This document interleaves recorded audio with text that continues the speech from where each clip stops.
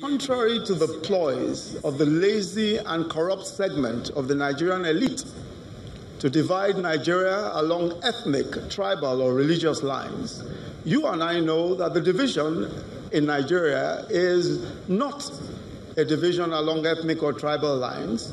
It is between those who want to privatize the wealth of our nation and those who want to use the resources of our nation to build a great nation and to develop human capital.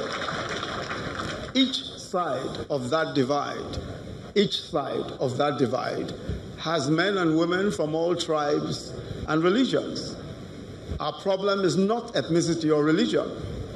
Our problem is finding good, forthright men of conscience in government.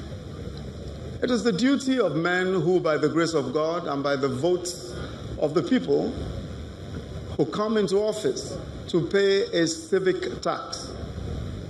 That tax is to write an account of their stewardship as fairly and as accurately as possible.